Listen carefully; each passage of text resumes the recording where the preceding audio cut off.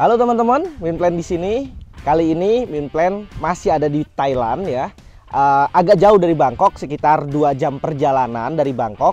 Kita sekarang ada di daerah Chonburi ya, sedang uh, eh sedang oh ya, sedang belajar perastruan dari master-masternya. Tadi Minplan sempat ngobrol sama uh, ownernya, pemilik uh, kebunnya. Jadi katanya dia sudah berada di industri astro ini sejak 30 tahun terakhir. Jadi udah 30 tahun teman-teman indukannya emang ada gede-gede banget dan menarik. Greenhouse-nya gede ada banyak banget greenhouse-nya mulai greenhouse pembibitan greenhouse untuk indukan dan macam-macam uh, oke. Okay. begitu aja cuplikannya. Saat ini kita sedang ada di Kochas Kochasri Garden.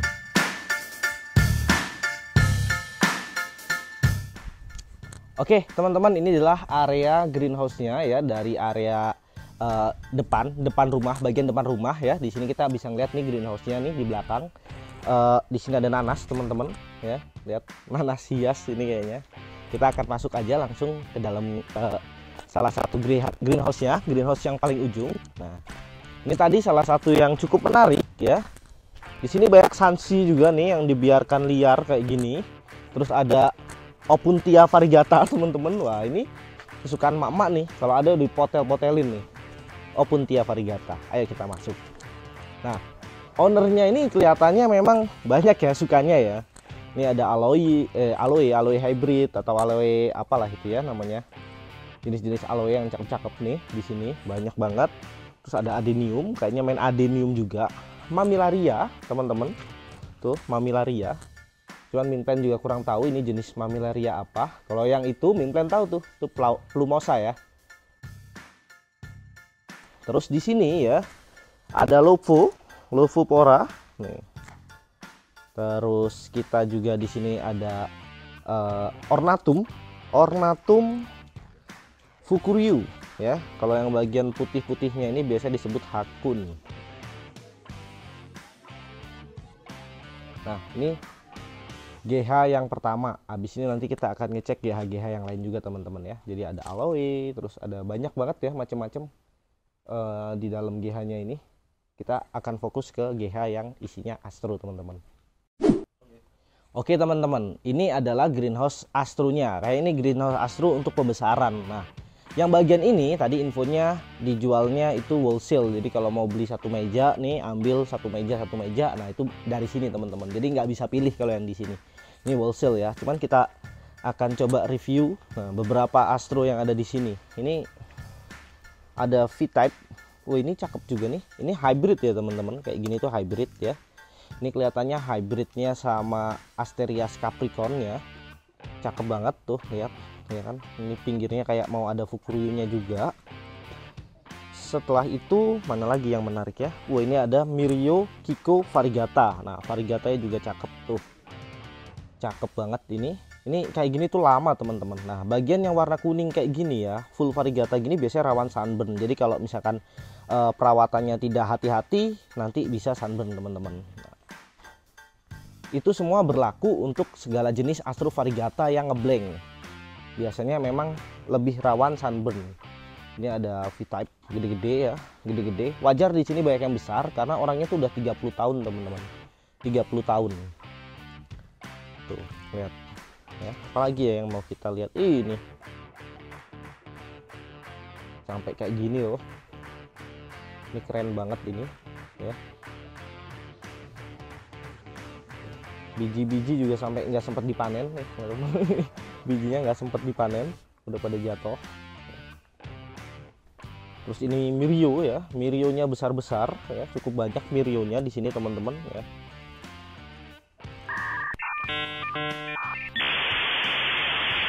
Dan ini ngelek, ini ngelek jaringan Telkomsel.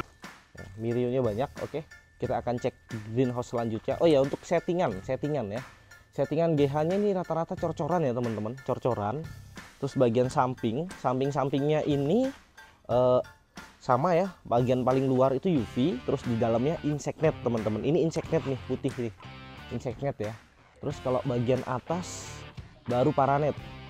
Baru paranet atasnya. Oke, kita cek GH selanjutnya yang buat kecil-kecilnya. Nah, oke okay, teman-teman, lihat ya. Di sini tuh banyak banget greenhouse-greenhouse lagi, greenhouse kecil-kecil gitu yang mana isinya mayoritas buat seedling yang size-nya beda-beda, teman-teman ya. Di sini di sini nah, kita akan review nih. Kita masuk dulu ke sini ya. Kita lihat kayak gimana dalamnya. Tuh. Ini. Ini seedling-seedling kayak gini tuh biasanya usianya sekitar 1 sampai 2 tahun ya. Mungkin 2 tahunan, teman-teman. Atau satu setengah tahun. Jadi kayak gini aja dia ya. Pakai besi holo gitu ya kan, muter setengah lingkaran. Setelah itu uh, ujung-ujungnya ini terbuka ya. Yang ini kebetulan terbuka teman-teman. Nanti di sana akan ada lagi yang lebih tertutup. Kalau yang ini kebetulan terbuka ya. Jadi size nya mayoritas uh, kecil-kecil. Ini sekitar 3-4 sentian di sini. Ada yang masih dua setengah sentian juga ini udah agak besar cuman kelihatannya yang ini not for sale ya teman-teman. Itu kita cek yang lain ya.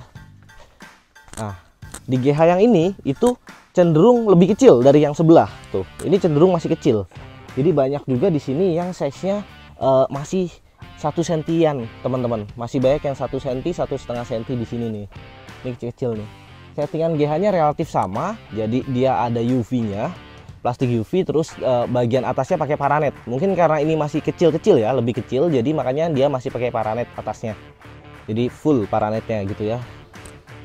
Menyelungkupi menyelungkupi. Cuma di sebelah sana paranet juga sama jadi biar ada sirkulasi udaranya kelihatannya dari sana sama dari sini. Oke teman-teman. Nah jadi ini kayaknya nih uh, kalau habis reporting pertama nih jadi reporting pertamanya di sini ini masih kecil banget masih banyak yang di bawah satu cm teman-teman tuh ya kelihatan ya kalau ini masih kecil-kecil banget ya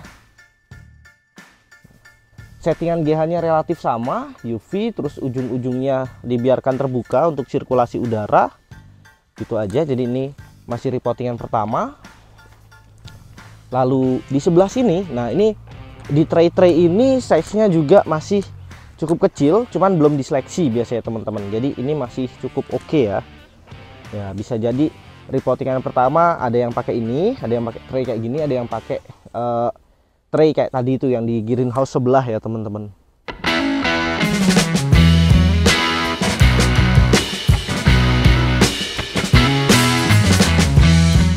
Oke teman-teman, ini juga di sini ada greenhouse yang buat rootstock ya. Jadi kayaknya dia nyetok rootstock juga. Di sini uh, sepertinya ini adalah Jasperti hybrid teman-teman. Jasperti hybrid atau triangle ya. Terus ada eh, ini Jasperti nih Jasperti sama Mirtilo. Nah, ini memang uh, rekomendasikan ya kalau buat ngegrafting Astro itu pakainya kalau nggak Mirtilo, Jasperti teman-teman. Gitu kita akan pindah ke greenhouse sebelah. Nah, teman-teman, ini GH utamanya ya. Di sini kelihatannya indukan-indukannya banyak di sini nih. Ada jatah panen juga ya. Nah, panenan. Nah, terus ini ada ya gagal gagal panen atau mungkin nggak dipolinasi ya. Nah ini isinya kayak gini-gini. Kita akan ngomongin yang gede-gede dulu teman-teman. Ini varigata ya. Corak varnya cakep banget nih. Corak varnya cakep banget. Untuk settingan greenhouse relatif sama ya teman-teman. Settingan greenhouse nya relatif lama uh, sama jadi dia pakai uh, ada pondasinya ya yang membedakan tuh pondasinya. Pondasinya bata ringan satu. Setinggi satu aja bata ringan di situ. Kayaknya biar tikus nggak masuk ya teman-teman. Jadi terus bagian bawah ini dicor ya dicor. Jadi memang kadang tikus yang bisa masuk dari bawah gitu loh ngerong ngerong katanya. Nah ini beberapa indukan-indukan ya indukan di sini. Indukan di sini umurnya nggak banyak ternyata karena setiap 5 atau 10 tahun sekali itu indukannya pasti diganti atau di upgrade jadi yang yang lama dijual eh, orangnya beli indukan baru teman-teman. Ini ada Starship lizard skin Fukuryu. Nah, jadi Fukuryunya ini kayak lizard skin teman-teman. Ini cakep gede dan cakep banget. Nah terus kalau mau tahu uh, induknya atau babonanya uh, Chinese Starship. Ini dia teman-teman. Nih Chinese Starship. Itu kayak gini teman-teman. Gila ini gede banget ini. Ya. Cakep. Terus kita ada apa lagi di sini? Terus beberapa hybrid hybridnya juga cakep-cakep. Hybridnya ya. Nah ini ini ini juga nih. Tuh. Ini cakep banget ya. Nggak berani nanya harga kalau segini keren ini?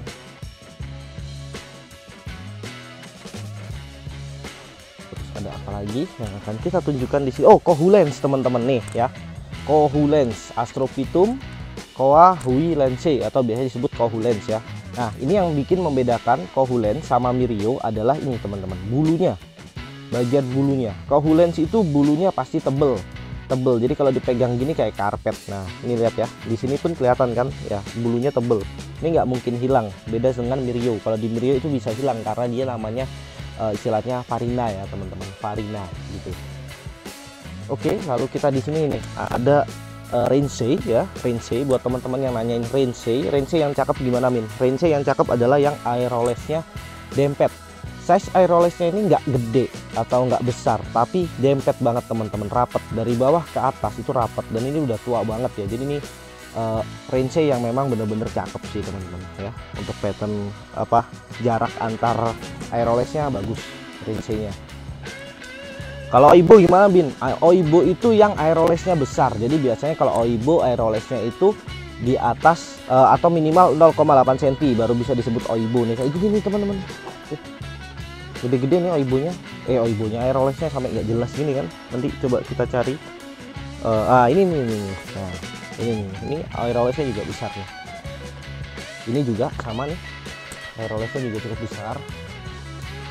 Nggak semua astro ya walaupun size nya itu besar aerolesnya ikut besar juga. Nggak semua. Bahkan ada yang aeroles apa astronya gede aerolesnya tetap kecil. Itu ada nih. Kayak ini ini aerolesnya besar juga.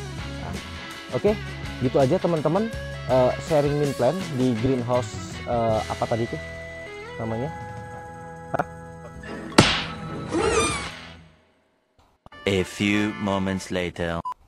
Kocha Sri Kocha Sri Garden ya Kocha Kocha Sri Garden yang ada di Chonburi Thailand nah tetap ikutin terus eh, jalan-jalan uh, min plan kita habis dari sini kita pasti masih akan jalan-jalan lagi terus jangan lupa di uh, like videonya, di share atau kalau teman-teman ada yang punya komentar boleh banget ditulis di kolom komentar. Kalau ada pertanyaan bisa DM ke Instagram iplan.cactus. Bye bye.